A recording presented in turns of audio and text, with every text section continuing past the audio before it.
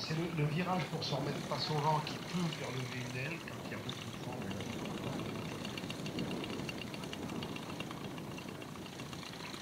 Voilà. Donc Samy, je te demanderai après le décollage d'éviter le survol de la route en bout là-bas, tu dois pouvoir le faire. Largement la place.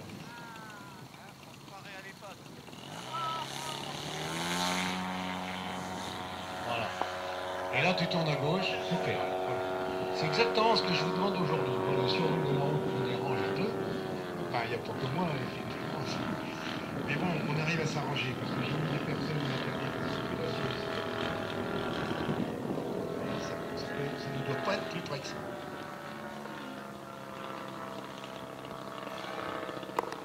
Ça roule super lentement, hein. vous voyez là, il n'y a pas de, pas de stress.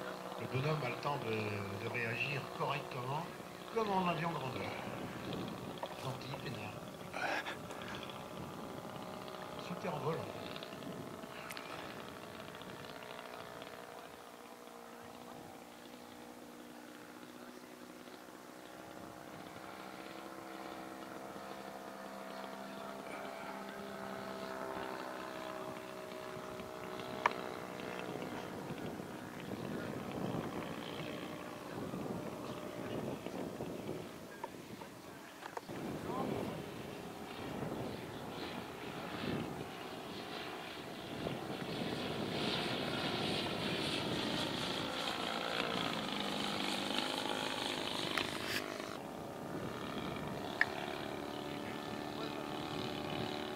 P40, euh, le P40, il volera après s'appelle.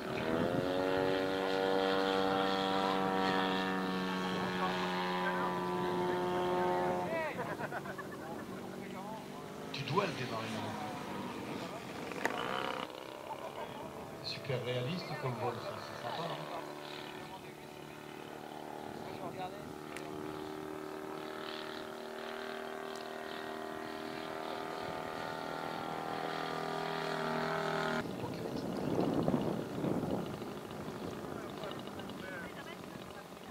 Le seul défaut du vent, c'est qu'il est un peu froid. Regardez la lenteur du vol. Je sais pas s'il m'avait mis le poids de l'avion. Il est à 22 kg quand même. Donc, euh, vu sa surface, c'est pas tellement chargé au décimètre carré, ce qui lui permet de chien. Alors après, on va aller, je pense, prendre l'axe de la piste. Il va tourner sur sa gauche maintenant. S'aligner. Comme en grandeur. On s'aligne et droit devant, on est en plein milieu de la piste.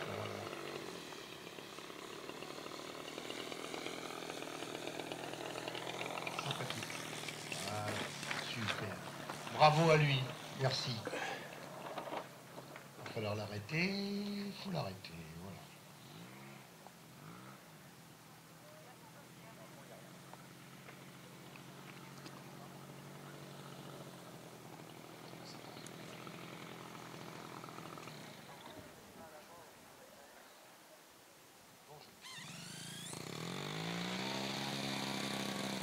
Là, un, avion qui était dessiné par un Américain.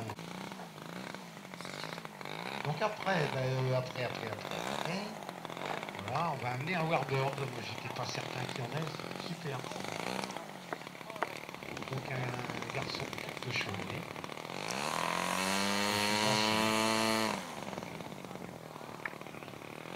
Ça va guère. Voilà, l'autoroute de décollage. Voilà,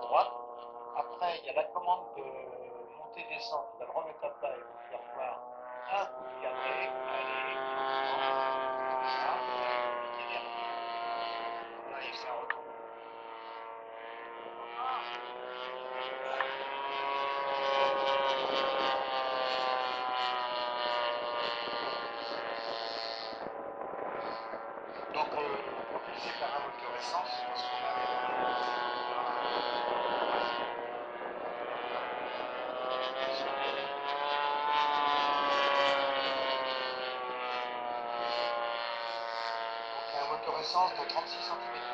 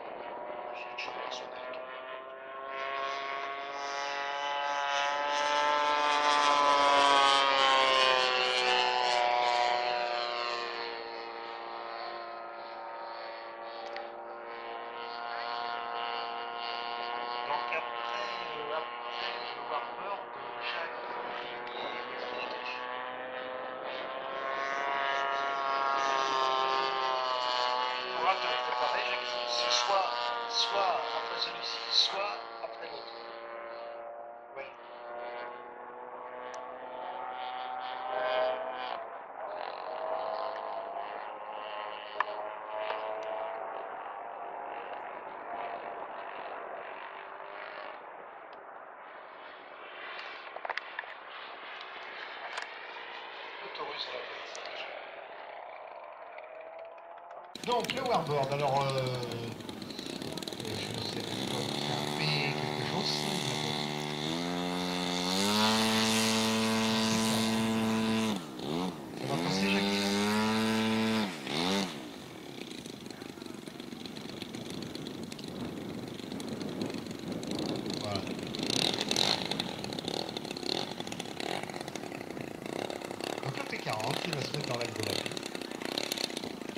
apparaît.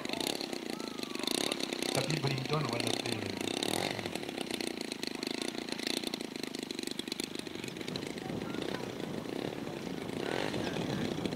Voilà, donc on se trouve sac.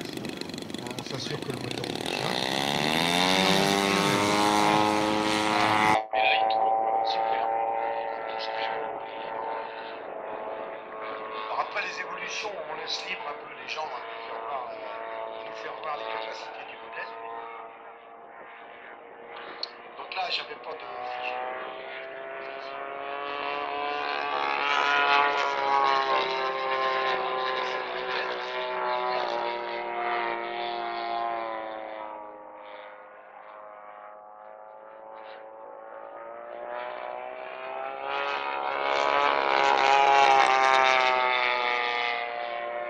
gros scorpion euh,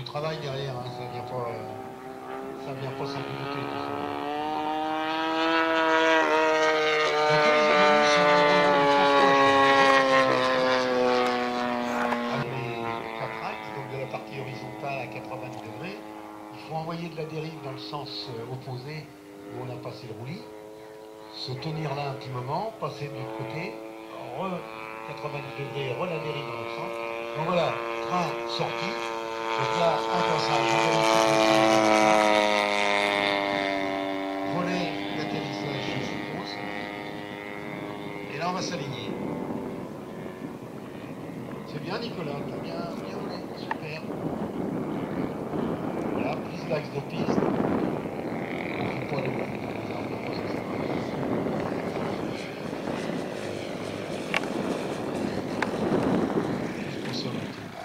Voilà.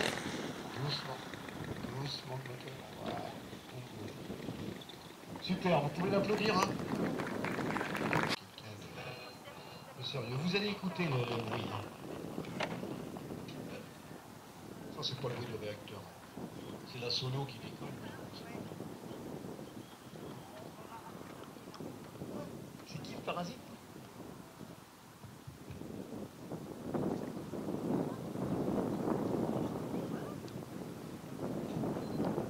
Ah oui, alors il y, a- il y a donc un train rentrant sur ce genre de modèle. Train euh, rétractable par un petit électromane qui marche à l'air. Donc on gonfle une bonbonne en aluminium à 6-7 kg. Et puis en déplaçant le petit électromane, on fait rentrer le centimètre.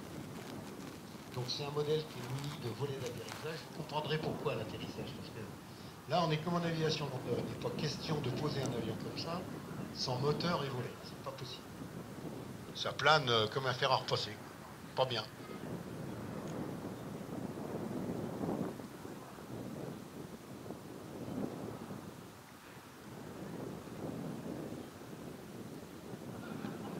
Donc il y a toute une procédure de mise en marche le pilote ne maîtrise même pas. C'est-à-dire que si ça pas envie de démarrer, on cherche mais on ne sait pas pourquoi. Mais là, je pense pas que ce soit le cas, je l'espère au moins. Donc là, ils ont mis les voitures en sens interdit. Je sais pas pourquoi. C'est qu'ils ont dû voir le, jet en attente. Donc, euh. Voilà. Écoutez, c'est parti. Donc il y a un temps, il y a un temps d'accélération de, la turbine. C'est automatisé. Et après, euh, là, il ne peut plus accélérer lui-même. Et il y a, au bout de une ou deux minutes de fonctionnement de la turbine, il redevient maître de son, de son accélérateur. Donc il va l'accélérer et regarder la poussée avant de partir. Voilà, c'est le moment. Voilà. On ralentit et là on est prêt à décoller. Un cran de volet, les gaz à fond et ça part.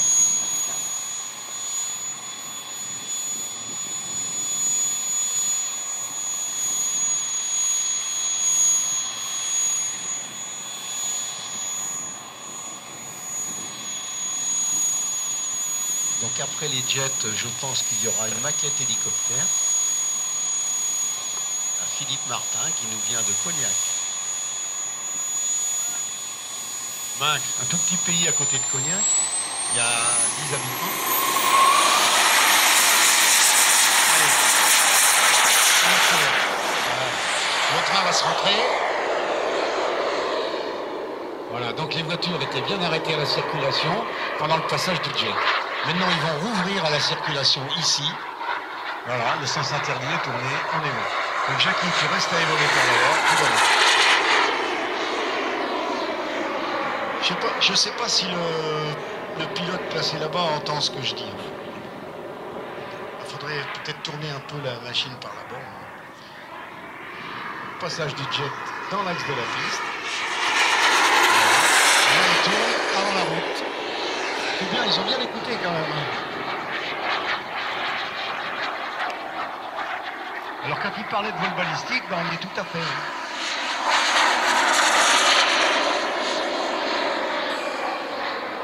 Alors là, hop. Est au-dessus de la route.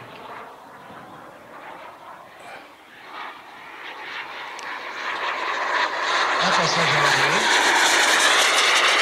En vitesse de pointe de ce genre de modèle, euh, on est à pas loin de 300 à l'heure quand même. Alors là, il va tourner sur la gauche. voilà.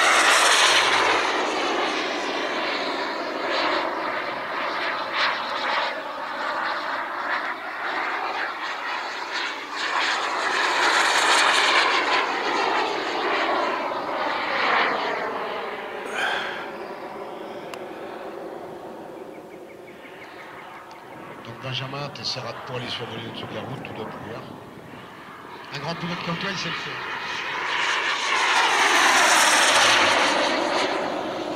On le voit aussi bien là. On le voit mieux là.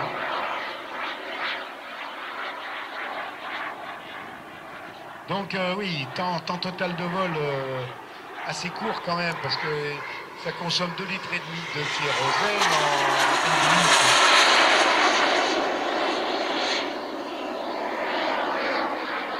On va déployer euh, les nuages.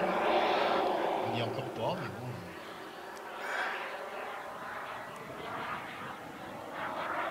Un tonneau en descendant.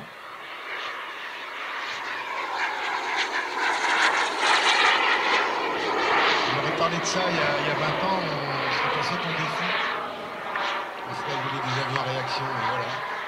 On n'arrête pas le, l'évolution de ce domaine. Et le modélisme sert à beaucoup d'expérience en fait pour l'aviation civile. Euh, c'est pas l'inverse. hein. Ça, ça commence souvent par le maquettisme. Voilà, le sens interdit est mis. Ils ont tout compris.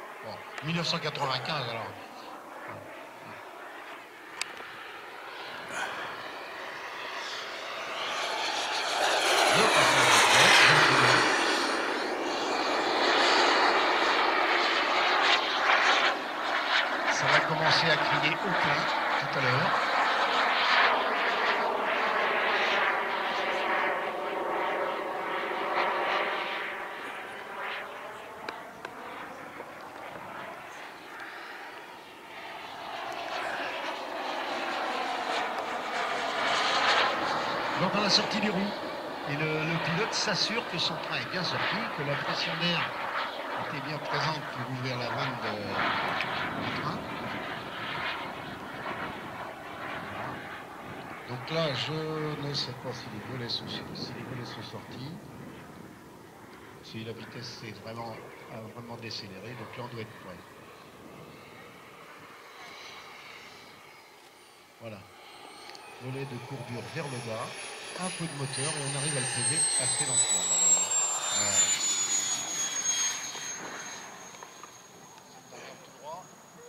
Voilà. Super. Su- Voilà, on est en place avec- Donc c'est le fils d'un ami, donc euh, les amis sont On peut mettre n'importe quel pilote au manche d'un avion de ce type, n'est-ce pas? Donc c'est des gens qui ont commencé par autre chose que le jet. D'ailleurs, je déconseille à quiconque de commencer par ça.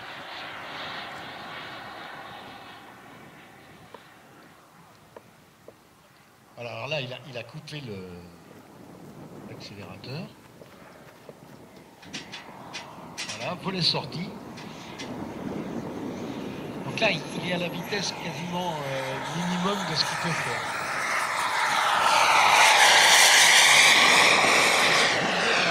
Accélération. Alors, il y a un il y a quelques secondes de, la position ralentie à la position complètement accélérée. Donc là, il est encore pas. Il a pris prise d'altitude. Et là, on va passer à fond la tête. Voilà. 350-400 à l'heure cet avion en, en prise de vitesse. Mais il faut monter un peu plus, puis bon. Voilà. Alors, on pourrait aller, oui, jusqu'à jusque dans le nuage. Donc pareil, hein, 8 minutes de vol maxi. hein, y a pas, euh, on met un chrono sur l'émetteur qui, alerte le bonhomme avant qu'il y ait tout de. Passage au vol inversé. Voilà. Il y a des bons pilotes à Saint-Nacaire. Hein.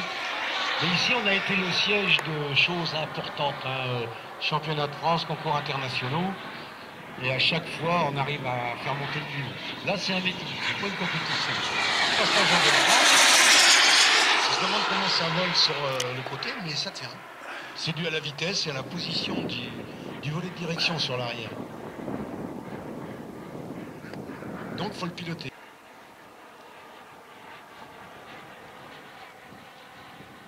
On a baissé le régime. Super maîtrise. Volet sorti, frein sorti. Le bonhomme se rassure, tout est à sa place. Je vais pouvoir l'amener dans l'axe de la piste. Voilà. Donc, il va se poser venant de notre droite, apparemment. Donc, le sens interdit doit être mis là-bas, exact. Donc, voilà. Donc là, on a cassé la vitesse de l'avion. Il faut encore qu'elle descende. hein. Donc là, il va couper tout. Là, on l'entend plus. Voilà. On arrive. Sur du lisse. Volet sorti. Voilà. Ne rebondis pas parce que ça va vite. Il y a des freins sur les roues. Super. Voilà. Super toi. Merci pour lui. Donc. Donc, donc, donc.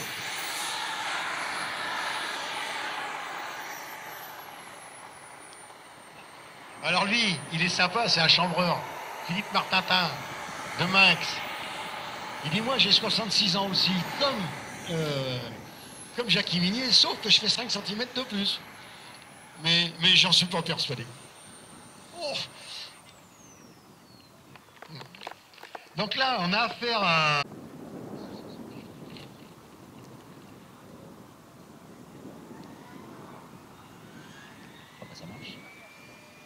Donc Philippe va décoller son hélicoptère. Donc ça marche exactement comme un véritable hélico. Donc il faut attendre que le rotor principal prenne assez de tours de rotation. Ensuite, euh, l'anticouple, eh évidemment, euh, conserve le cap de l'hélicoptère, parce que s'il n'y a pas d'anticouple, eh l'hélicoptère se met à tourner sur lui-même. Donc là, il va nous faire sans doute un vol euh, très maquette, comme un vol, un vrai hélicoptère grandeur. Là, il regarde si tous les trims sont bien réglés, s'il n'y a pas quelque chose qui fait que l'hélicoptère euh, puisse euh, s'en aller d'un- côté à l'autre. Alors la différence entre un avion et un hélicoptère, c'est que l'hélicoptère, on le pilote tout le temps. Un avion, de temps en temps, on peut quand même arrêter d'appuyer sur les manches, l'avion vole de lui-même. L'hélicoptère, il faut tout le temps contrer, il y a toujours quelque chose qui fait qu'il va partir à droite ou à gauche, euh, en avant, en arrière. Donc on est toujours, toujours, toujours en train de piloter. Donc là, il nous fait un passage, virage sur la gauche assez engagé. Ce que peut faire un, hélico- un hélicoptère grandeur. Là, une sorte de 8 paresseux. Demi-8 paresseux, par contre. Là, il est complet maintenant. Donc, quelquefois, on voit aussi des démonstrations de, de 3D, mais au bout d'un moment, le public ne voit plus dans quel sens l'hélicoptère. Alors que là, un vol maquette comme ça, on se rend compte de tout ce que peut faire un hélicoptère en volant relativement lentement et en- avec une maîtrise parfaite. Donc, ce qu'on ne peut pas faire vraiment avec un avion, c'est qu'on peut faire de la marche arrière avec un hélicoptère. L'avion, c'est un peu plus compliqué. On le fait, mais sur des courtes distances, alors que là, il peut reculer tout un moment s'il le désire. Évidemment, il peut faire du vol stationnaire, comme un véritable hélicoptère. Là, il s'en va en translation à droite, puis sans doute à gauche.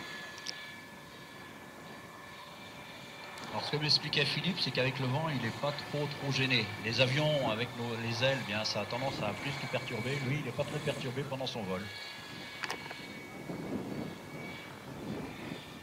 Donc là, virage très court. Voilà, on en fait plusieurs d'affilée. Donc il, euh, il joue sur le rotor principal et sur l'anticoupe pour incliner l'hélicoptère, puis le faire tourner avec l'anticoupe pour le faire tourner quasiment sur place. Dans un sens, on augmente la vitesse de l'anticoupe, ça le fait tourner d'un côté, dans l'autre, on ralentit, le- l'hélicoptère tourne à l'en- à l'envers. Alors il existe des hélicoptères qui pas ce système-là, qui ont deux rotors. Un rotor qui tourne dans un sens et un autre qui tourne dans l'autre sens. Ça existe en petite, euh, en petit hélicoptère euh, radiocommandé, mais ça existe aussi euh, en véritable hélicoptère. Les Russes ont un hélicoptère, un double rotor comme ça. Et les Anglais aussi, mais avec euh, deux rotors dé- décalés, un à l'avant et un à l'arrière. Là, c'est un monorotor. Donc c'est la maquette d'un hélicoptère américain, mais qu'on voit assez souvent. Il, était, je crois que c'était celui-là qui était dans un feuilleton assez célèbre euh, à la télévision longtemps.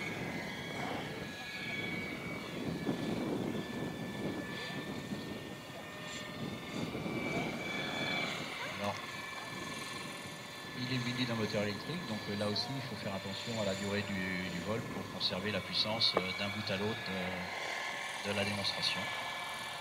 Maintenant sur les radios, il on a des bips qui nous indiquent le nombre de minutes qu'on a volé et le temps qu'il nous reste pour se poser en toute sécurité.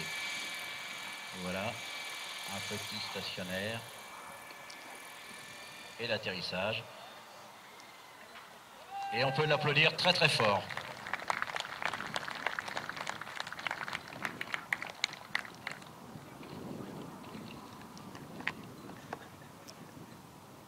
Donc nous allons avoir maintenant le moteur pété, on, en enlève le starter et puis euh, le moteur démarre.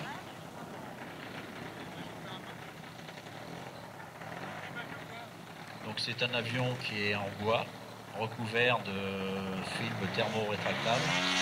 Je suppose que c'est un kit, ça doit être un avion qui est quasiment prêt à l'emploi. Il faut quand même dedans installer la radio, le moteur, les batteries pour que ça fonctionne le mieux possible. Sur les batteries, entre le, entre le récepteur et la batterie, souvent on met un système de double alimentation puisque euh, on veut éviter absolument d'avoir une rupture d'électricité, ce qui ferait que la radio ne fonctionnerait plus. Donc on est souvent sur les gros avions équipés de systèmes de double, double alimentation. Alors le, le petit inconvénient des biplans, c'est que c'est un peu sensible au vent de travers. Là aujourd'hui, il est vraiment de travers. Il n'est pas très fort, mais de travers. Donc euh, il faut faire assez attention au moment du décollage. Et après aussi au moment d'atterrissage, mais le décollage, il faut quand même faire attention parce que le vent, l'avion a tendance à aller tout seul dans le vent, donc euh, il faut savoir bien se servir de sa dérive.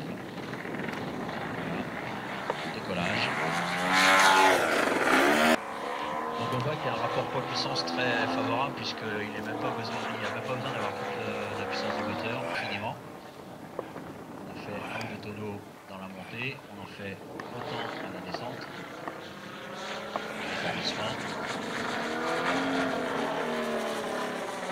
Là, vous voyez, il joue beaucoup avec les gaz.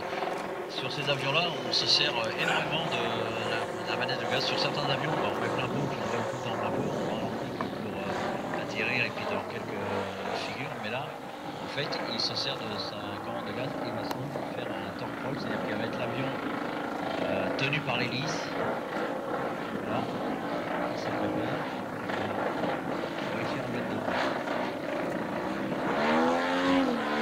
On a toujours à côté ou de l'autre. Donc il faut se servir des élans, de la dérive, de la profondeur et du moteur.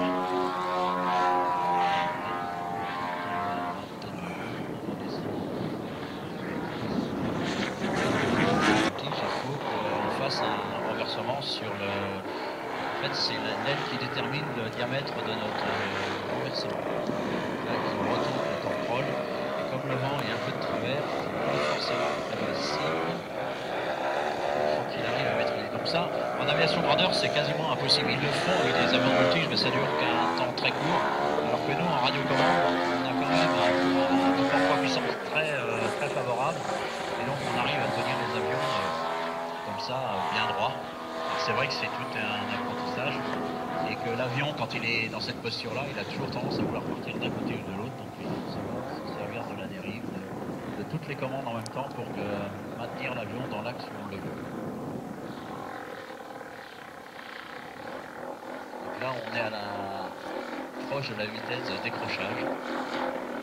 Mais l'avion accélère, il est presque sur place.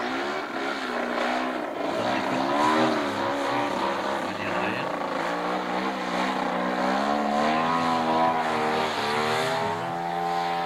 Un peu gênant qu'on fait cette figure avec un biplan aujourd'hui.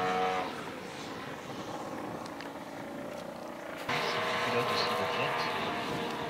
Et un magnifique euh, fixe. C'est bien.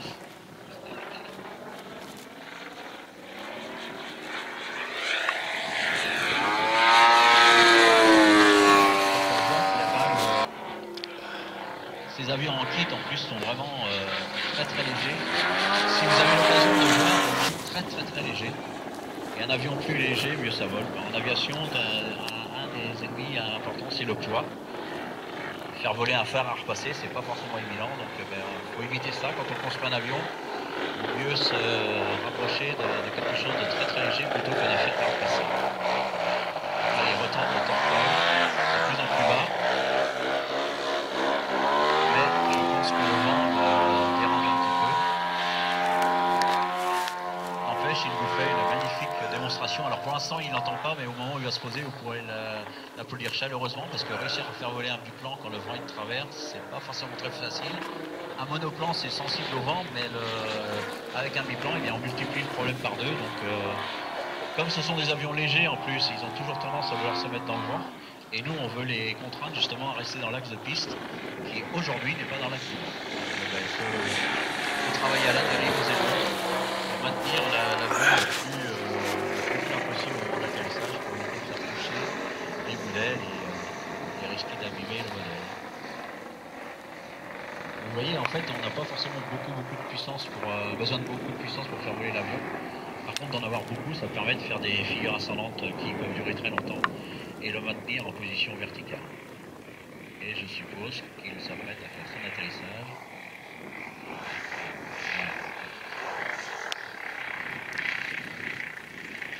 Bravo Philippe. Belle démonstration.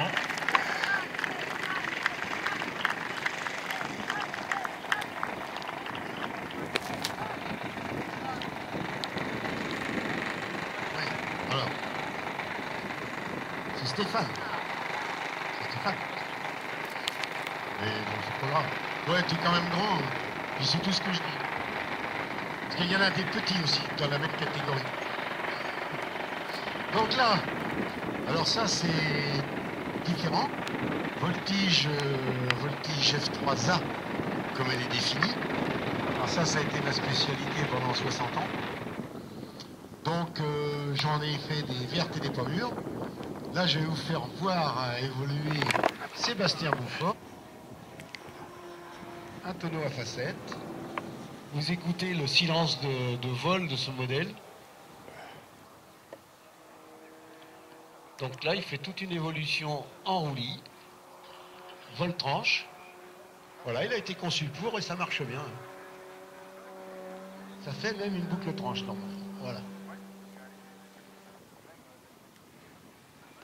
Voilà, un passage à basse vitesse. Voilà, les caractéristiques de cet avion sont sensationnelles. C'est dû au profil de l'aile. Un demi-8 cubain. Et le juge, il met une note, les de 0 à 10. Et suivant la difficulté de la figure, il y a un coefficient d'appliqué. On met ça dans la grande machine ordinateur qui nous calcule un résultat. Un renversement. Donc il a pivoté sur son axe de, de tangage en haut.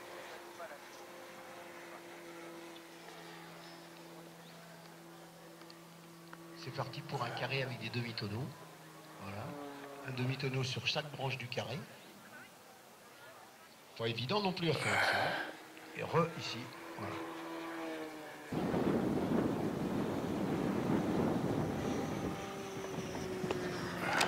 Là, on est parti pour un cercle en un tonneau.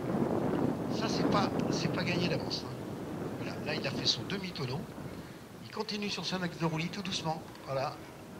Là, il va être perpendiculaire à nous, toc, et on termine le cercle en tonneau devant le bonhomme. Pas mal quand même. Alors les connaisseurs là se disent euh, les manches, il faut savoir. Donc là, il va se présenter pour le poser.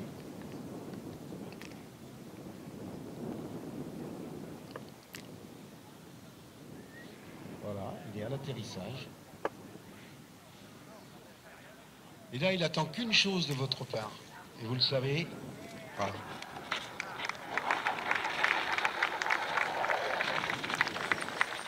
Merci Sébastien.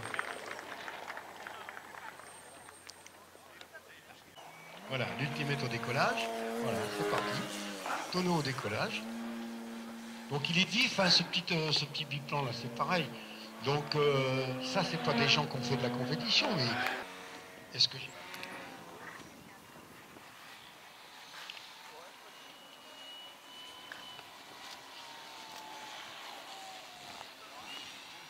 Voilà, propulsion électrique. On tente aussi de faire du torque roll en tenant le nez en l'air. Alors après, pour se mettre en roulis, c'est pas simple, le vent, le vent n'est pas. Voilà, c'est beaucoup lié à la commande d'accélération. On arrive à le faire reculer. Ça, en aviation grandeur, vous le verrez, mais très peu de personnes. hein.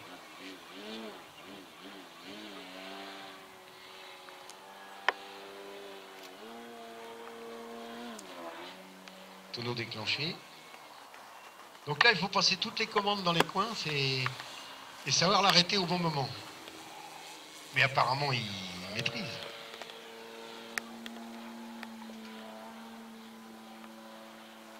Ah, il y a de la puissance, il n'y a pas de problème. Et en silence. Rideau dans les deux sens.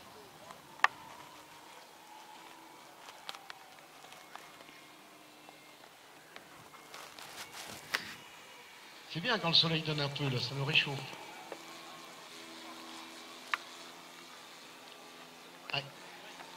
C'est pas le plus vieux, c'est moi qui est le plus vieux. Après. Voltranche, bon, un biplan, c'est plus courant, ça. hein, euh, c'est plus facile. Parce que l'air est canalisé entre les deux ailes, il y a juste la dérive à passer, puis ça me fait très bien.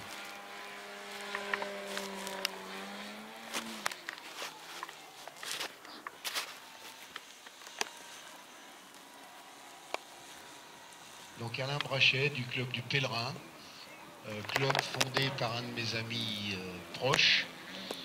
Euh, il m'avait suivi parce que moi j'ai fondé le club ici en, en 77. Et en quittant l'aérodrome, pour des raisons allez, sécuritaires, on va pas se cacher, hein,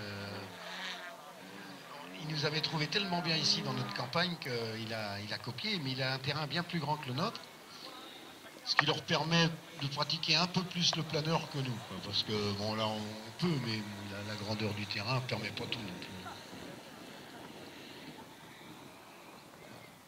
Ça, ça vole un peu de place hein, quand on...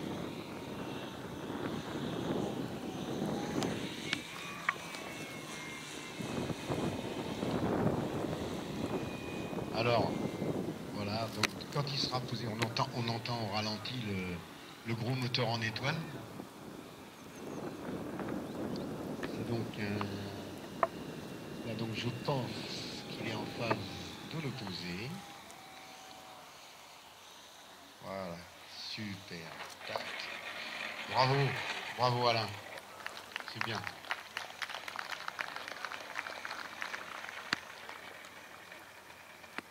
D'âge pour pratiquer. Donc, le gros Boeing là, le gros Boeing, hein. c'est deux motos, euh, oui, c'est une belle moto déjà. 4500 tours euh, là, on décolle. On voit bien que ça puissance. Donc, Vous avez pu voir des avions semblables à ça au meeting grandeur des Cholet avec une personne montée dessus. Et là, il y en a une, mais c'est pas, c'est une petite personne. Ça fait un super bruit quand même ça.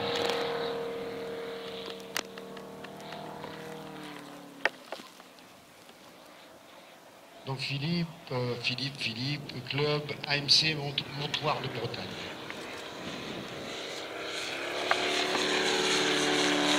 C'est bien, il garde le fil du truc, Philippe. il vole régulièrement pour pas perdre la main. Écoutez le bruit.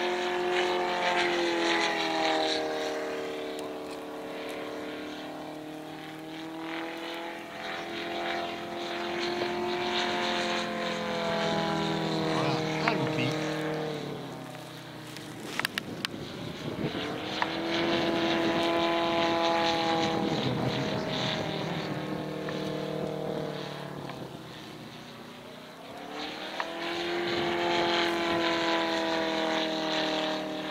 Donc il a mis euh, le poids, ouais, 25 kg. Donc on catégorie A encore, mais voilà, après, pour euh, des avions plus lourds, ben, il y a d'autres dispositions à prendre. On devrait reculer de 20 mètres et puis euh, le terrain ne permet pas, donc euh, on, reste, on reste dans la règle.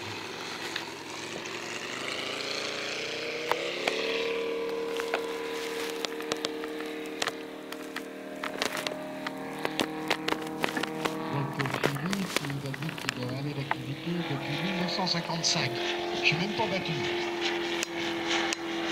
il est un peu plus quand même.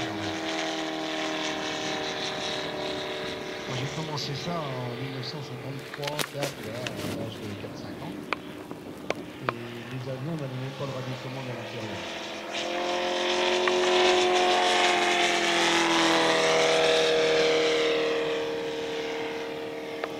Il y a le drapeau hein, qui flotte dessus.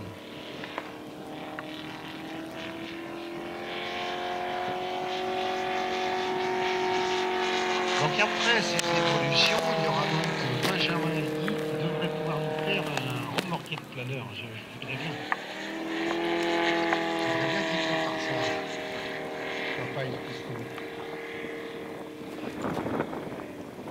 Ouais, donc il y a des gâteaux et des crêpes, hein, euh, si, si vous voulez. Et à boire. Allez-y, sans limite, pour les gâteaux et les crêpes.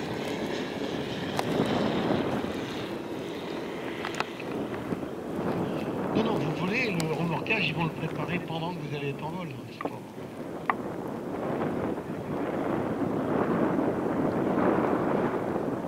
Ouais, Jean-Bernard, euh, le chef de piste, a disparu. Il est donc à l'atterrissage, doucement, doucement. doucement. Donc, euh, hop, vous voyez, le vent prend un petit peu sous l'aile. Bon, il faut aussi admettre là-dessus que pour 3 mètres d'envergure, l'en- l'empattement du train, c'est-à-dire la largeur entre les deux roues, elle n'est pas énorme. Donc dès qu'il prend un petit peu de vent sous une aile, bah, le truc il penche. Voilà Philippe, arrête le moteur par là s'il te plaît. Arrête le moteur par là. Voilà. Ça aussi c'est pour des raisons de sécurité. Donc là, au décollage, un Piper, Piper Cub. Donc cet avion-là, il y, a, ce- il y a la réplique de, ce qui se faisait à Cholet, euh, l'aérienne choletaise. On le voit évoluer de temps en temps. C'est un avion qui permet de faire de la photo et de voler tout doucement.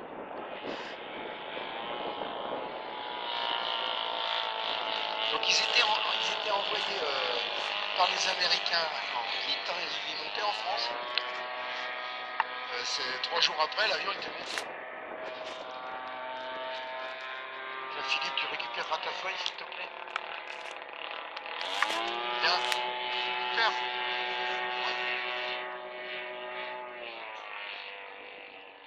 Donc Jean-Louis Bossard qui nous fait voler le Peter. Donc A- Alain, Alain, Alain, Alain Hachette viendra chercher la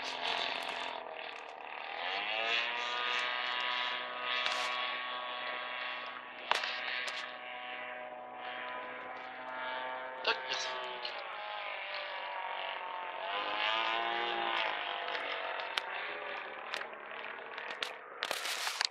Le moteur, le moteur, c'est un 30 cm3 essence.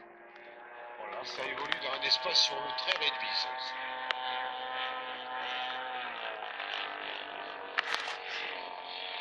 Et ce modèle-ci a été fait en 1955. C'est le, il n'a pas été reconstruit, hein, c'est celui de 1955. Oui, ça peut durer un modèle quand même. Bon, après, il a peut-être été désentoilé, réentoilé pour des raisons de, visite euh, avant de le remettre en l'air, mais ça vole très bien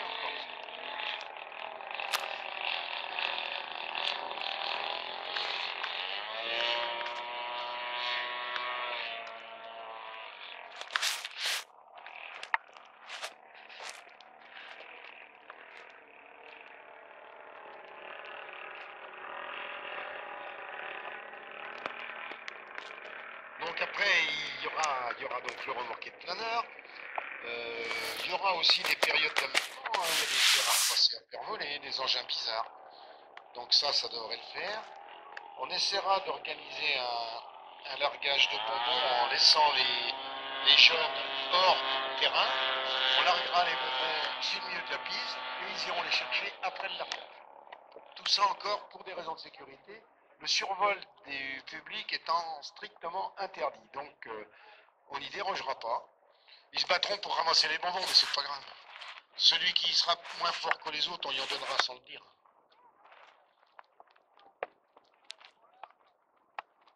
Donc, le piper.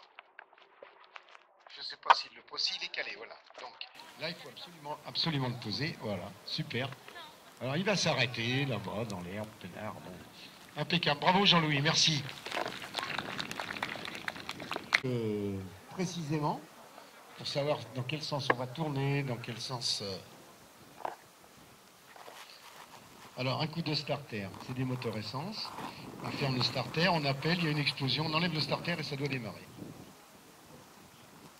Le carburant doit y être pourtant.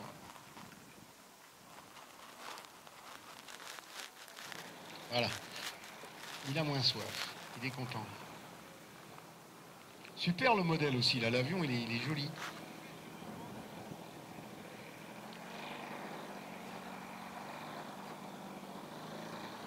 Des gens habitués à faire du remorquage, tous les deux, le père et le fils. Après, euh, dans un petit peu plus tard, ils, vont, ils feront voler les, deux jets euh, en vol de patrouille. Ça, c'est encore autre chose. Donc là, on tend la ficelle. On tend la ficelle. Ah oui, il y a plus de 20 mètres. hein. Euh, oui, 24-25 mètres. La piste faisant 15 mètres de large, ouais, ça doit être ça. Donc on se met d'accord. Vous allez voir que le planeur, il va, quitter le sol, en principe, avant l'avion. Donc on met un cran de volet euh, aux ailes du, remorqueur pour lui donner de la portance. Et le, planeur va normalement quitter la piste avant la- l'avion. Donc piste de, 100 de 120 mètres, euh, des ULM seraient très contents d'avoir ça. Bon, bah, pour du modèle réduit, on est dans le luxe. Allez, voilà.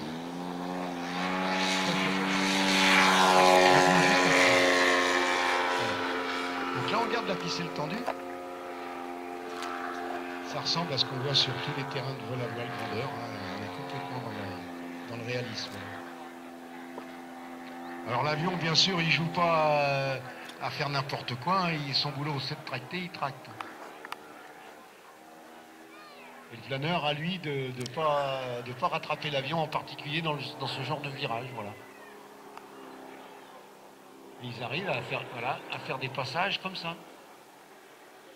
Donc on sort des- de temps en temps les airs, voilà. Là, le planeur rattrape l'avion, vous voyez. Et hop, c'est parti.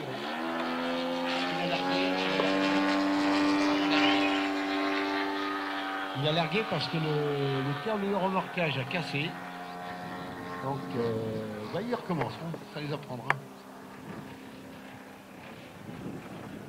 C'est pareil euh, en Vendée, les ficelles, les ficelles sont pas solides en Vendée. Mais il était vraiment détendu, donc euh, la coup, il ça n'a pas loupé. Mais autrement, on a des ficelles bien plus grosses. hein.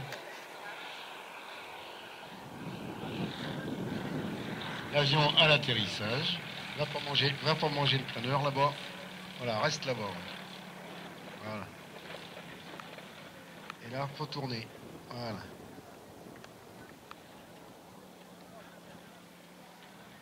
Donc ça, c'est le genre de- d'incident qui peut arriver. Je ne sais pas s'ils vont réparer le- le câble tout de suite. On va voir avec eux.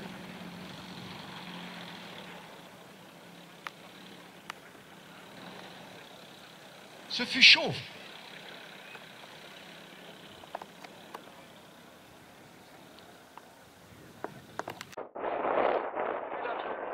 C'est dangereux en fait. Et parce que le planeur est presque suspendu derrière. Il faut sortir les AF, hein, absolument. Voilà. Le planeur doit rester extérieur au virage. Donc là, l'avion, il va revenir par la droite. Donc le planeur, voilà, faut qu'il parte le nez à gauche, qu'il reste. Une fois qu'il re- il est revenu un poil vite. Pour le détendre, je pense.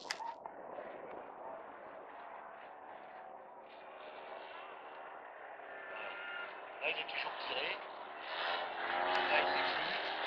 Là, il est à nouveau. Coq, vous avez vu le coup de vitesse. Voilà, donc ça fonctionne, il n'y a pas de problème. Là, on prend de l'altitude. Alors, tu le nuage quand même, qu'on ait le temps de le voir, le planeur. Et qu'on entende les siffler. Hop, un air.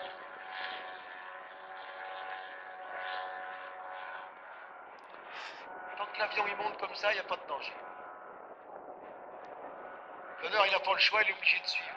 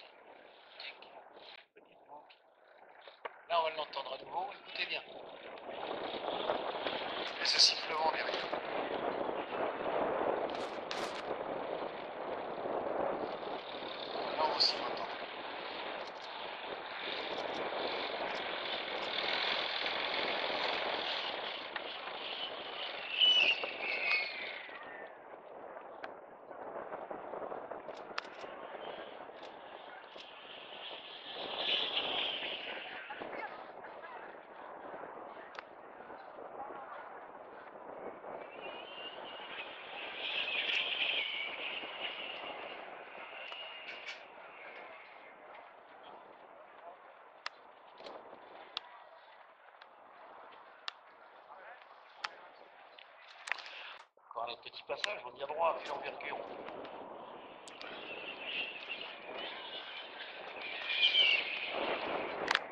Après, il y a la restitution derrière, on remonte. Alors là, effectivement, la vitesse est cassée après. On va aller chercher l'axe de piste, je pense, venant de la droite, comme c'est foutu là, avec l'axe du vent. Puis il y a un moment où les aérofreins vont être sortis. Je sais pas si c'est pour celui Si, si, c'est ça. Là, on est aérofrein sorti. Regardez, il arrête tout, tout de suite le planeur. Là. Allez, droit devant. Eh bien, super. Voilà. Vous verrez, rare- vous verrez rarement mieux. Bon, après, la ficelle, ça c'est toujours autre chose. Bravo Guy, c'était bien vu. C'est super. Allez, applaudissez-les un coup quand même. Ils- Ils ont même pas entendu. Là, on a un petit intermède avec des planeurs lancés main. La, la différence entre un planeur de, de 6 mètres et un planeur d'un mètre, Alors les trois, les trois Choletais, les quatre Choletais, parce que Pablito, il est arrivant. Ouais. Je m'arrangerai de toi tout à l'heure. Donc là, on reste dans le silence. Toujours. Alors après, les gens, les gens qui veulent arriver voler, ils viennent me voir, ils me donnent leur fiche. Et on les fait voler. Donc Guy et Benjamin, les deux feuilles, s'il te plaît.